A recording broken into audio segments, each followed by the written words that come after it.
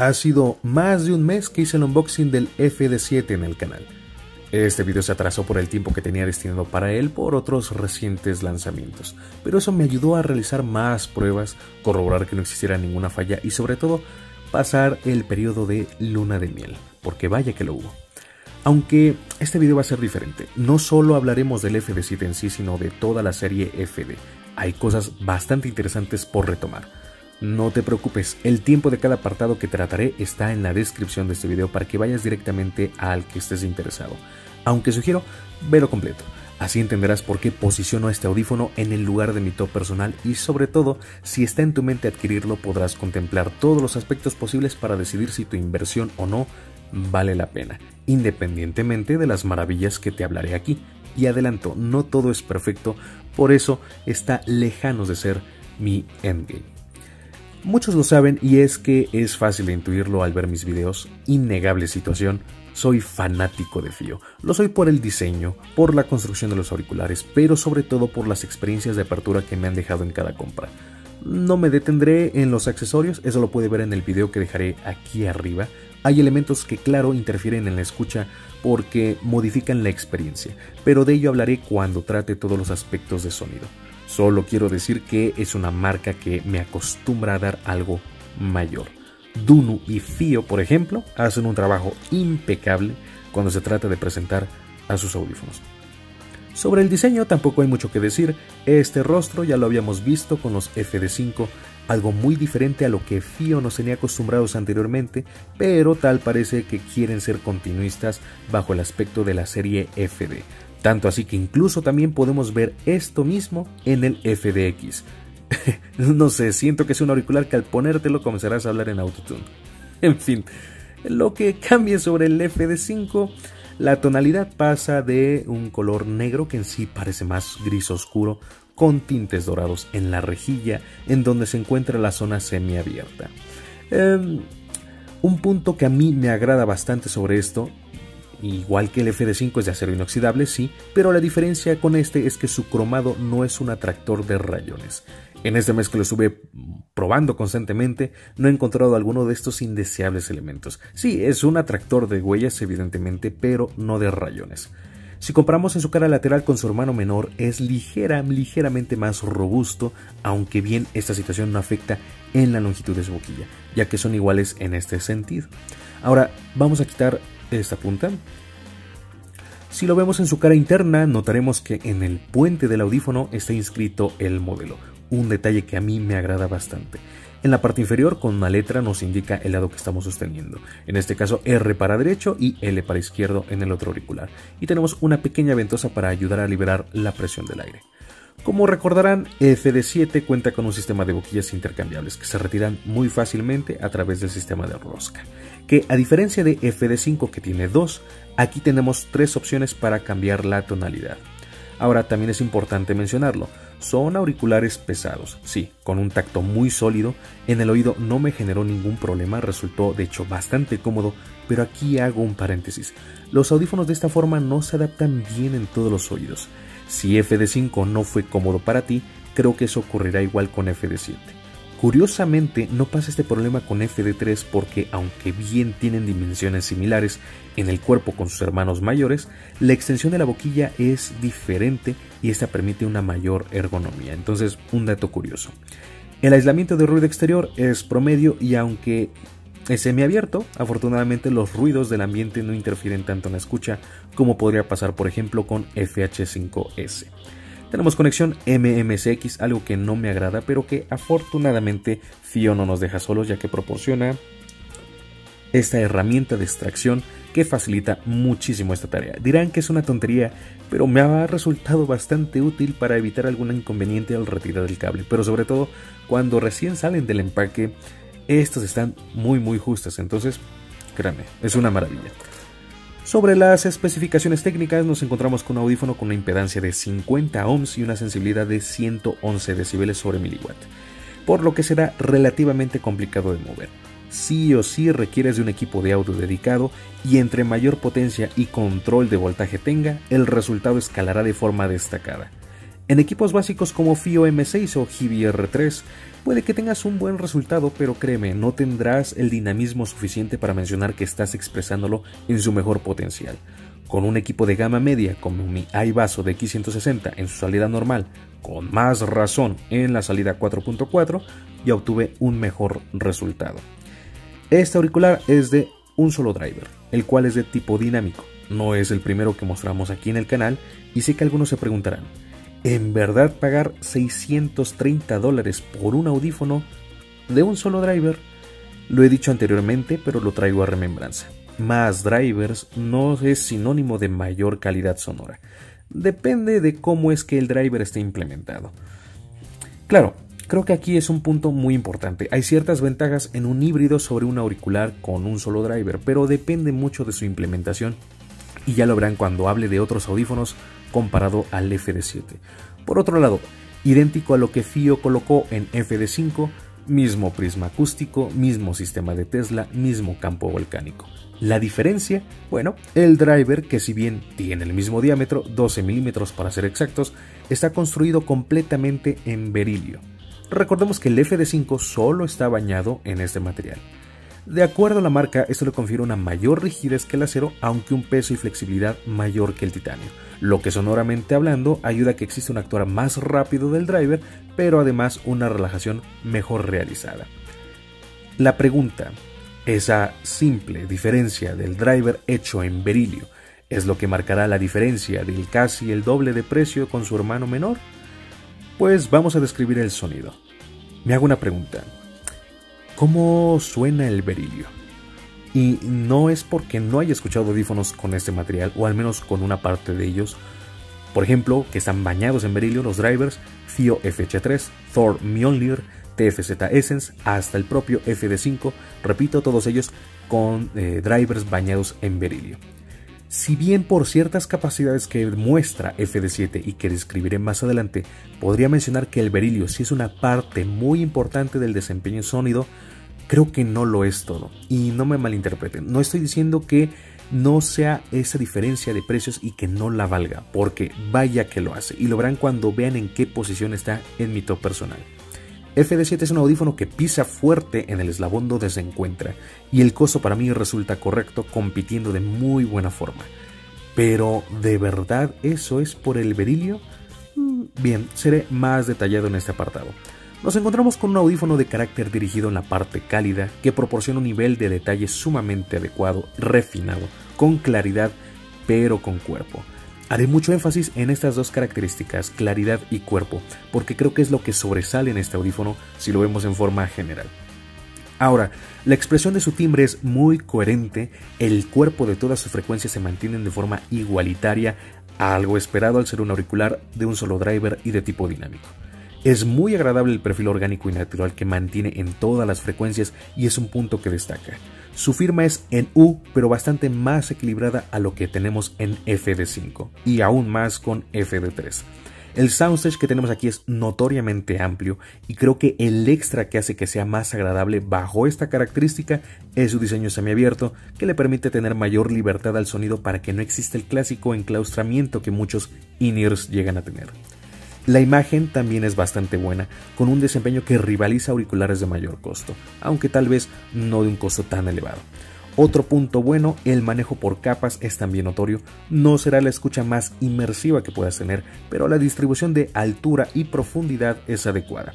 Si hablamos de amplitud, por ejemplo, es similar, si no es que idéntica a la escena sonora que tenemos con The Audio Oracle, notoriamente más amplia que Monarch, aunque si hablamos de layering, Monarch está en la cabeza, seguido de FD7 y por último Oracle.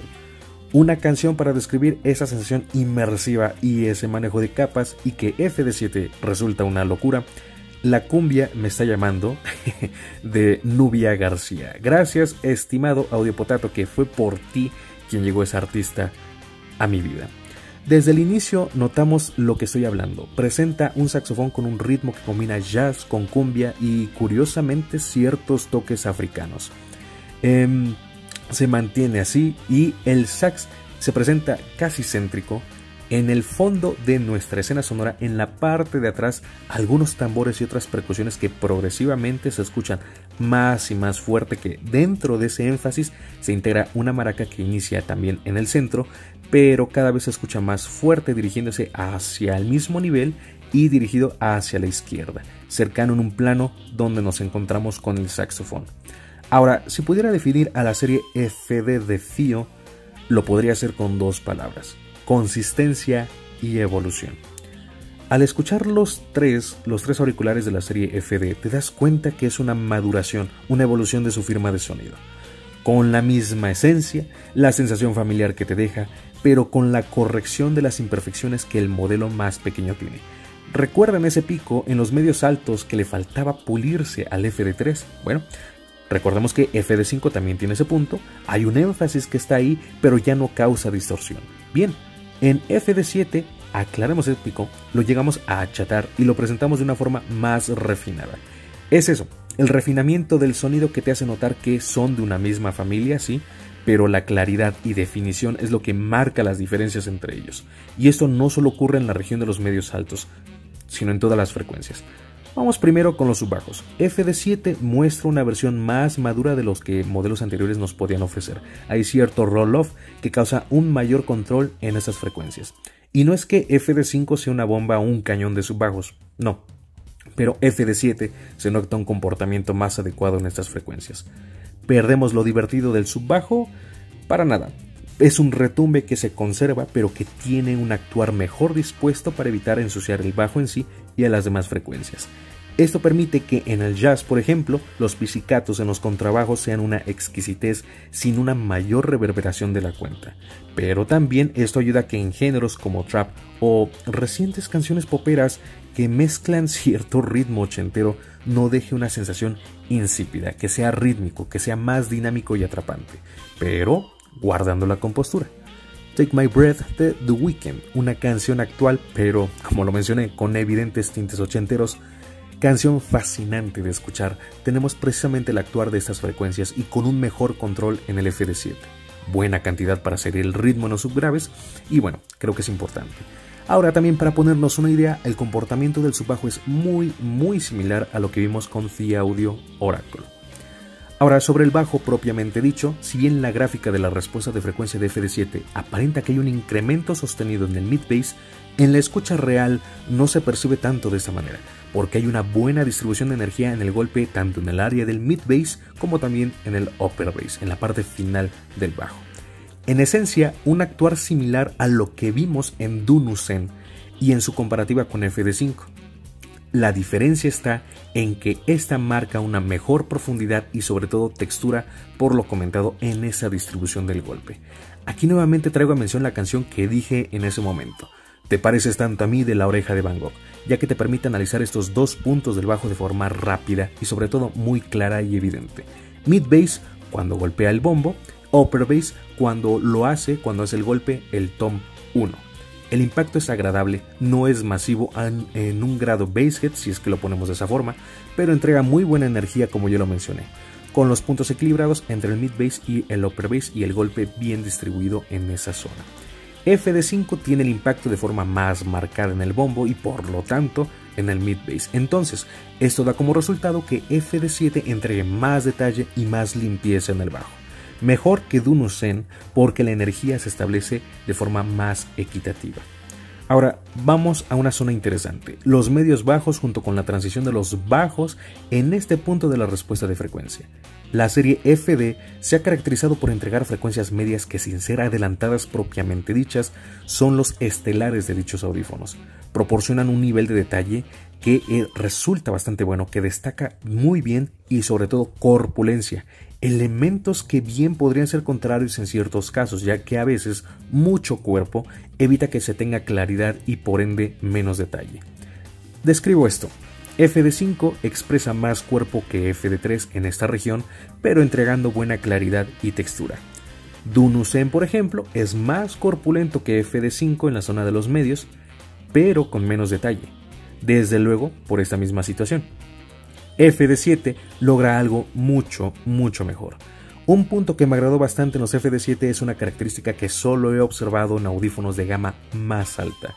Te entrega una claridad y nivel de detalle sumamente destacado, gran transparencia y eh, cristalinidad equilibrada, pero con un sonido corpulento. Hasta el momento, sobre lo que yo he escuchado, me he dado cuenta que en muchas ocasiones un audífono podrá tener un cuerpo robusto, pero llegan a perderse ciertos matices. FD5 realiza un buen trabajo bajo este sentido, pero FD7 lo lleva en un mejor nivel y que de hecho fui insistente al hablar en su momento en la charla del Dunusen. Ese es un auricular con bastante cuerpo, buena definición, pero es lo que lo obliga a no mostrarse con tanta claridad y deja el microdetalle en muy muy segundo plano. Es que es un audífono que en sí no, el, su punto no es el microdetalle. Tal vez lo hizo para no sacrificar una tonalidad relajada. FD7 es lo que a mi parecer Dunusen tendría que haber sido. Entonces, hay buen cuerpo, pero distingues peso en estas notas y además percibes energía, aunque de forma no tan exagerada o agresiva, pero con claridad hay un buen equilibrio bastante, bastante destacable sin conferirle un, carácter aburrido o en extremo relajado. Eso precisamente es lo que me ha encantado de FD7. Ahora, muy eh, dentro de las características que yo creo que confiere esto, muy probablemente ese soundstage amplio es lo que le ha ayudado a tener ese resultado. Tal vez sea esa buena cantidad de aire y esa separación instrumental lo que permite que sea robusto pero transparente al mismo tiempo y esa definición es obtenida con mejor desempeño posterior al quemado. Es uno de los cambios que noté porque aún saliendo de la caja, si bien ya era bueno, luego de ello mejoró todavía más.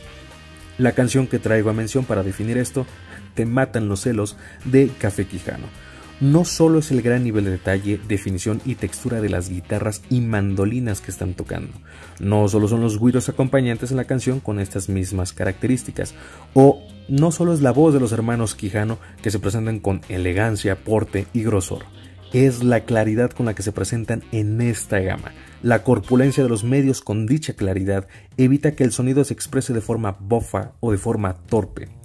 Hace muy buen trabajo este audífono en este sentido.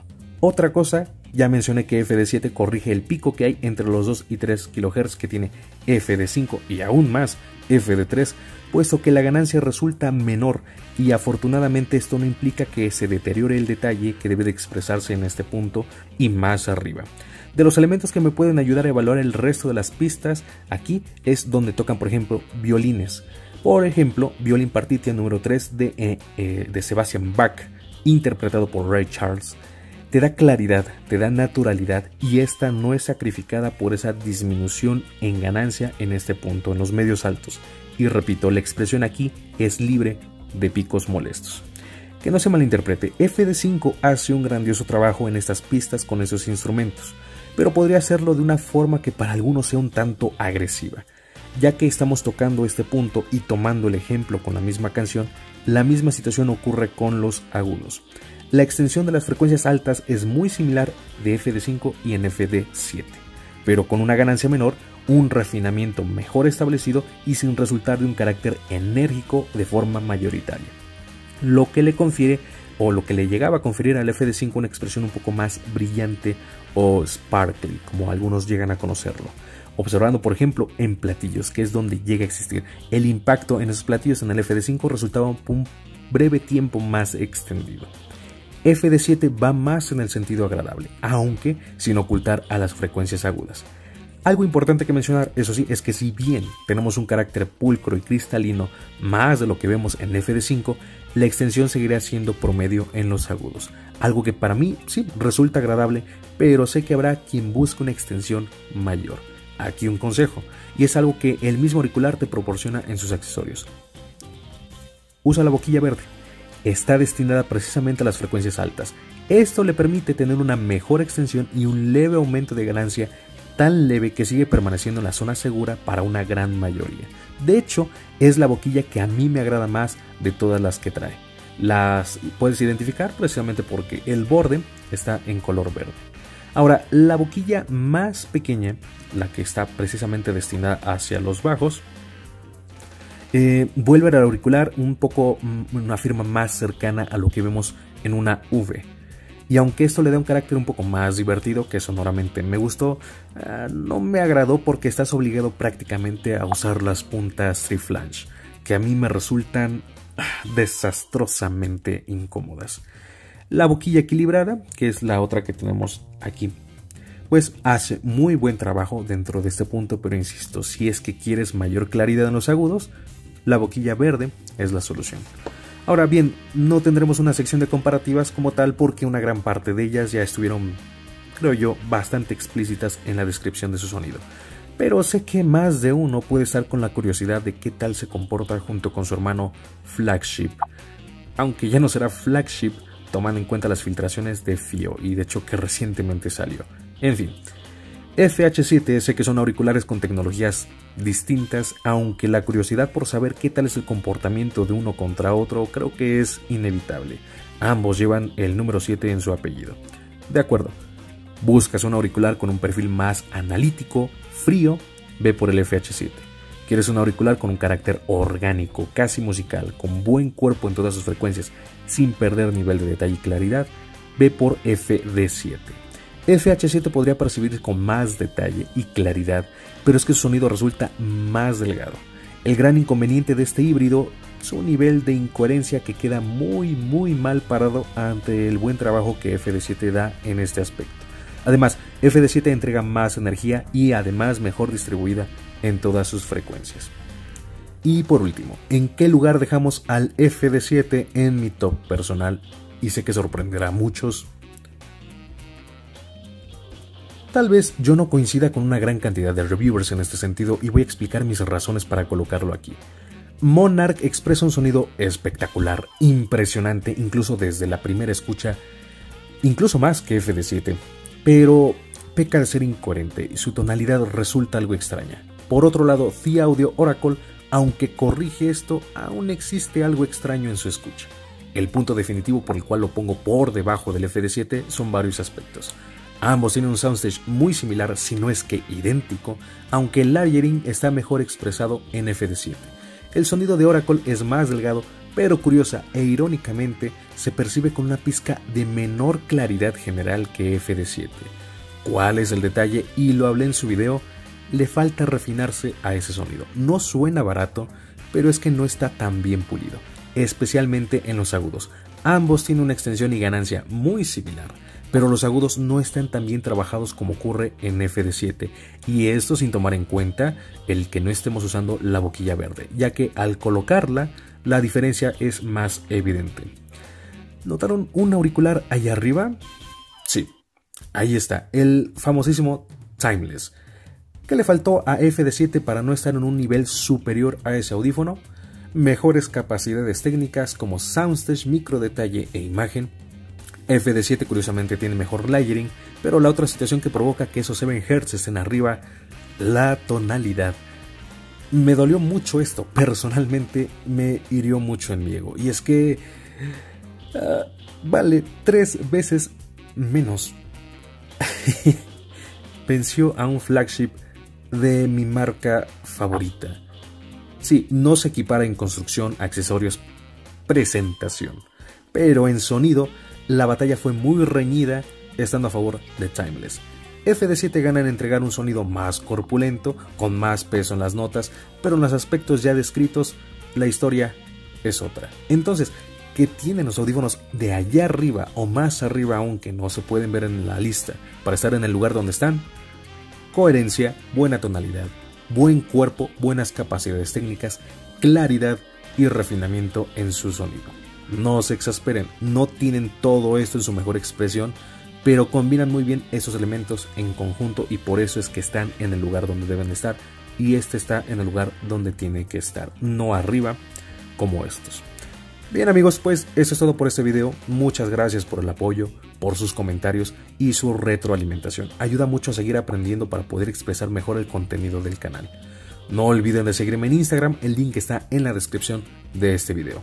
Dejen su pulgar arriba si es que les ha gustado este video y de esa forma créanme apoyan mucho al canal. Bien, pues nos vemos en la próxima charla. Tendremos otras bellezas muy muy interesantes.